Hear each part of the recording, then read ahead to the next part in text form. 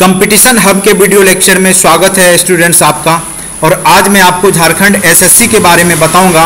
जो लोग झारखंड एसएससी का फॉर्म भरे होंगे तो उनके लिए बहुत ही एक अ, अच्छा मौका है गोल्डन चांस है। आप किस प्रकार से तैयारी करेंगे कि 100 परसेंट आपको रिज़ल्ट मिल जाएगा?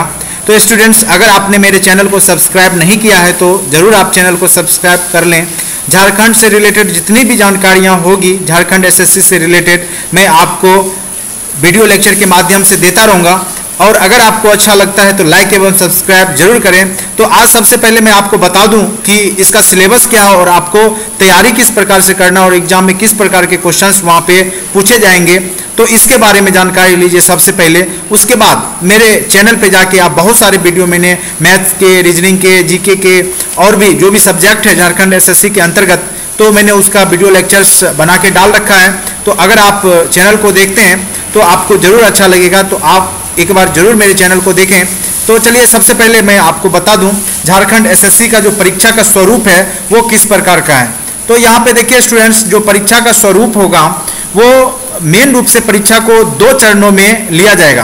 पहला होगा आपका प्रारंभिक परीक्षा, जिसको आप पीटी बोलेंगे, दूसरा होगा मुख्य परीक्षा, जिसको आप मेंस बोलेंगे।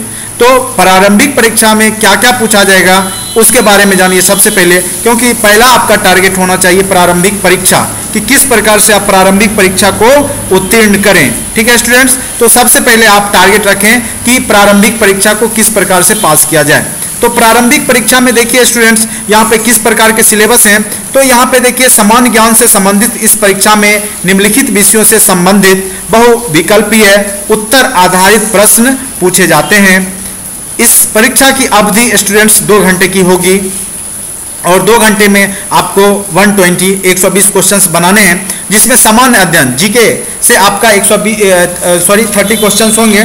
तो जीके में आपका पूरे इतिहास का हो गया, ज्योग्राफी हो गया सिविक्स हो गया, भूगोल हो गया, पर्यावरण हो गया, स्वतंत्रता, भारत का स्वतंत्रता, खेल खिलाड़ी, महत्वपूर्ण घटनाएँ, इतिहास, भूगोल, यानी जो आपका संविधान है राज्य व्यवस्था है तो लगभग ओवरऑल पंचायती राज जैसे हो गया, भारतीय कृषि हो गया, प्राकृतिक संसाधनों की प्रमुख विशेषताएँ।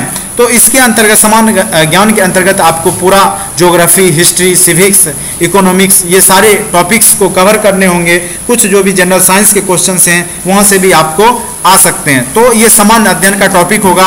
यहाँ से आपके एग्ज़ाम में थर्टी क्वेश्चन पूछे जाएँगे। अगर आप ढंग से पढ़ते हैं, अगर मेरा वीडियो लेक्चर भी देखते हैं तो आपको ज़रूर फ़ायदा होगा। यहाँ से आप थर्टी में, नहीं तो कम से कम ट्वेंटी फाइव प्लस आप बना सकते हैं स्टूडेंट्स तो थोड़ा आप वीडियो लेक्चर्स के माध्यम से देखिए और समझिए। उसके बाद देखिए, दूसरा है झारखंड से संबंधित ज्ञान।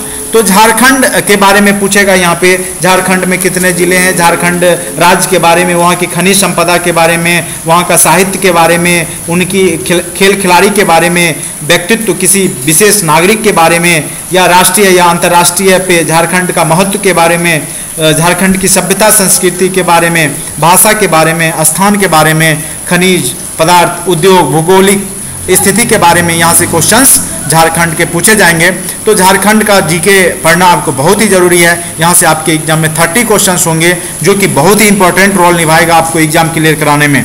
उसके बाद है तीसरा सेक्शन है गाँव में सामान्य गणित। तो सामान्य गणित में आपको ज़्यादा नहीं पूछा जाएगा। तो अंक गणित में जो भी है, जैसे परसेंटेज हो गया रेशियो प्रोपोर्शन हो गया, और उसके बाद टाइम एंड वर्क है। तो अंक गणित आप एक बार अच्छे से ज़रूर देख लें। एल सी हो गया, और सिंप्लीफिकेशन हैं। तो यहाँ से क्वेश्चन आएँगे। टाइम एंड डिस्टेंस हो गया स्टूडेंट्स उसके बाद बीज गणित, ज्यामिति से भी कुछ क्वेश्चन आएँगे ज्योमेट्री से, त्रिकोणमिति से आएँगे, क्षेत्रमिति से आएँगे. यानी ओवरऑल आप एसएससी का सिलेबस फॉलो करेंगे यहाँ पे तो आपको बहुत ही आसानी से आपका मैथ बन जाएगा स्टूडेंट्स यानी आपको मैथ अच्छे से फुल सिलेबस आपको कवर एसएससी लेवल का करना है. ठीक है स्टूडेंट्स उसके बाद है मानसिक क्षमता जाँच का मतलब होता है रीजनिंग रीजनिंग के 20 क्वेश्चन पूछे जाएँगे तो आप जो एसएससी का लेवल है रीजनिंग का, वही क्वेश्चन पूछे जाएँगे. जैसे अंक गणितीय तर्क शक्ति सीरीज़ का क्वेश्चन कोडिंग डिकोडिंग का क्वेश्चन होंगे, और उसके बाद उसमें आप सिलोगिज्म होगा एक आठो, उसके बाद जो भी फिगर फिगर से रिलेटेड क्वेश्चंस रहते हैं तो वो सब क्वेश्चन होंगे। तो एक बार आप ज़रूर रीजनिंग को अच्छे से देख लें। उसके बाद कंप्यूटर ज्ञान। स्टूडेंट्स कंप्यूटर ज्ञान भी यहाँ पे महत्वपूर्ण है आपके लिए, क्योंकि अगर आप एक बार अच्छे से कंप्यूटर ज्ञान पढ़ते हैं तो आप आराम से 20 क्वेश्चंस कर लेंगे।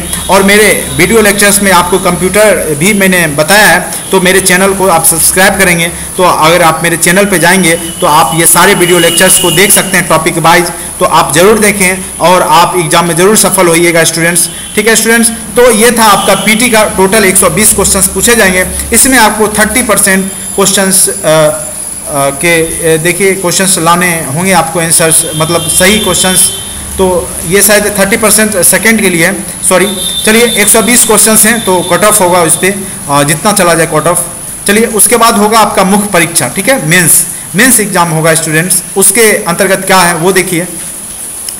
देखिए, मुख्य परीक्षा के तीन प्रश्न पत्र होंगे स्टूडेंट्स, तीन प्रश्न पत्र एक नहीं, तीन प्रश्न पत्र होंगे। प्रत्येक पत्र परीक्षा की अवधि दो घंटे की होगी। दो घंटे की प्रत्येक प्रश्न पत्र की अवधि होगी। प्रत्येक प्रश्न तीन तीन अंक के होंगे।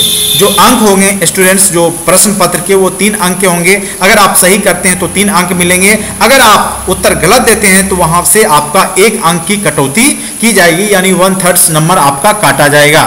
तो ये भी याद रखें आपको मेंस में आपके अंक भी कटौती होगी, जो कि पीटी में आपका नहीं होगा। ठीक है स्टूडेंट्स उसके बाद देखिए, पत्र वन, विषय भाषा ज्ञान। ठीक है? विषय भाषा ज्ञान पत्र वन में पूछा जाएगा, जिसके अंतर्गत हिंदी भाषा के ज्ञान के साठ प्रश्न, हिंदी एवं अंग्रेज़ी प्रत्येक में अनुच्छेद आधारित 20 एवं व्याकरण आधारित 40 प्रश्न होंगे।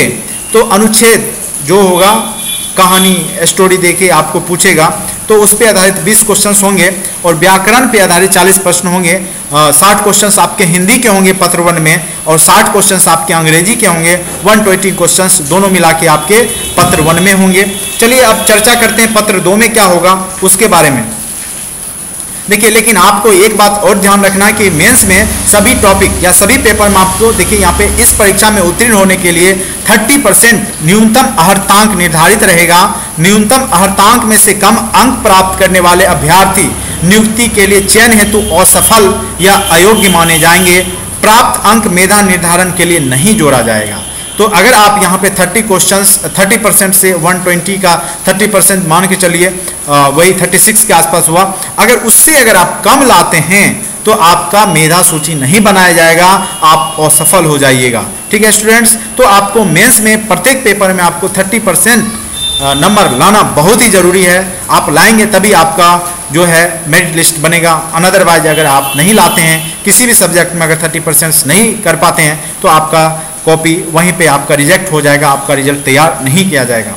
पत्र दो, इसमें क्षेत्रीय या जनजातीय अन्य भाषा ज्ञान के बारे में पूछा जाएगा तो इसके अंतर्गत आप कोई भी भाषा चूज़ कर सकते हैं। हिंदी है, अंग्रेज़ी है, उर्दू उर्दू है, उसके बाद आपका संथाली जो कि वहाँ का क्षेत्रीय भाषा है, झारखंड का संथाली, बंगाली, मुंडारी, मुंडा, हो, खरिया कुरुक उराव भी इसको बोलते हैं। कुरमाली, खोरठा, नागपुरी पंच परगणिया उड़िया, संस्कृत में से किसी एक भाषा की परीक्षा विकल्प के आधार पर अभ्यर्थी दे सकेंगे।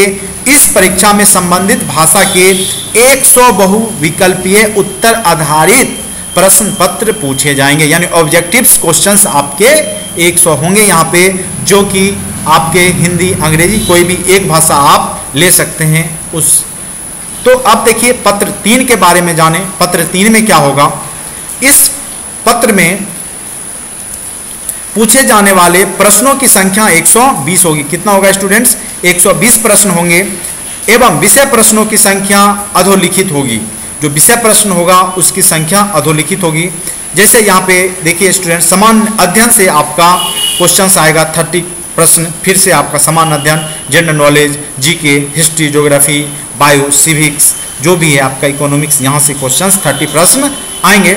झारखंड राज्य से संबंधित जो कि ज्ञान है, झारखंड के बारे में ज्ञान है, यानी झारखंड की सभ्यता, संस्कृति, भाषा, स्थान, खान, खनिज, उद्योग, भूगोल, इतिहास जो झारखंड का इतिहास है, राष्ट्रीय आंदोलन में झारखंड का योगदान, साहित्य विकास योजनाएँ, खेल खिलाड़ी, व्यक्तित्व, नागरिक उपलब्धियाँ और पुरस्कार राष्ट्रीय एवं अंतर्राष्ट्रीय महत्व के विषय के बारे में फिर से आपको यहाँ पे 40 क्वेश्चंस पूछे जाएँगे। और कंप्यूटर ज्ञान, देखिए स्टूडेंट कंप्यूटर एवं कंप्यूटर पर हिंदी टंकन संबंधित 50 प्रश्न पूछे जाएँगे, जो कि आपके लिए बहुत ही इंपॉर्टेंट है कंप्यूटर। तो कंप्यूटर का मैंने वीडियो लेक्चर्स भी डाल रखा है अपने साइट पर तो उसको देखते रहिए। अगर आपको अच्छा लगता है लाइक करें सब्सक्राइब करें। अगर आपको कोई वीडियो का डिमांड होता है कोई टॉपिक का तो वो आप हमसे कर सकते हैं। तो आ, मेरे साइट पे जाके आप जो भी यूट्यूब वीडियो के नीचे में आप लिख के आप मैसेज कर सकते हैं स्टूडेंट्स तो मैं आपके अनुसार आपका वीडियो बनाता रहूँगा जो कि आपको हेल्पफुल होगा।